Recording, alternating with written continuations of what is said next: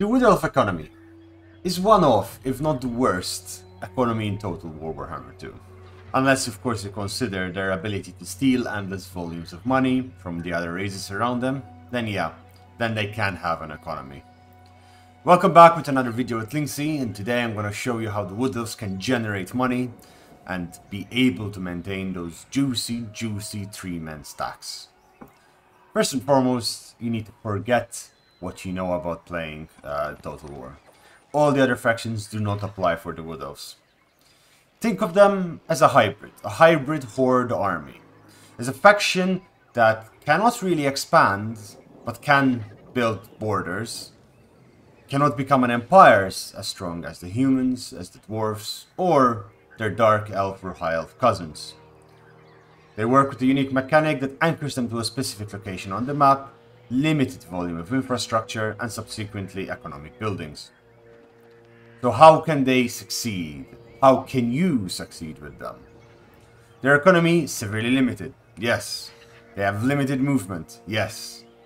And most of their settlements are indefensible after you take them.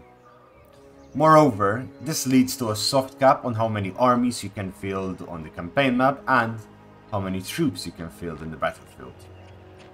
Well, the solution is very simple. You see those fat, rich empires that grow all around you? Think of them as fruits and think of yourself as the gardener. And it's harvest season. Yes, the Wood Elves prosper through war. You need to create a plan and start systematically annihilating one faction after the other. And you should be generating so much money from sacking and post-battle loot that your cash reserves should easily skip over 250k within 100 turns, allowing you to fill 2 to 3 doom stacks, if not more, while holding only a fraction of the trees that you need. This comes from various tech trees, skills, while limited, do boost your income significantly. Notably, Wonders of the Forest Blue skill line, where you get an increased 20% post-battle loot and 10% from razing settlements. Now, razing settlements not always the best idea, but you can make some money there. Further to this, you get more and more traits from winning countless battles that do help your sacking, your raiding, and your winning battles. Lastly, the tech, Durthu, Keeper of the Last Boom, is a technology that increases post-battle loot by an additional 10%.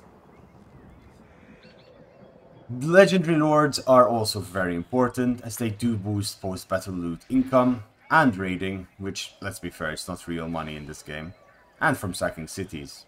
Most lords give getting an item or a skill that gives them an additional 10% post-battle loot bonus, Durthu an Orion.